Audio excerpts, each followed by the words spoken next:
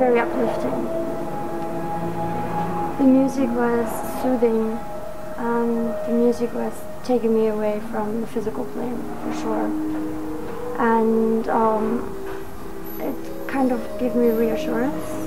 I don't know how that comes along, but yeah,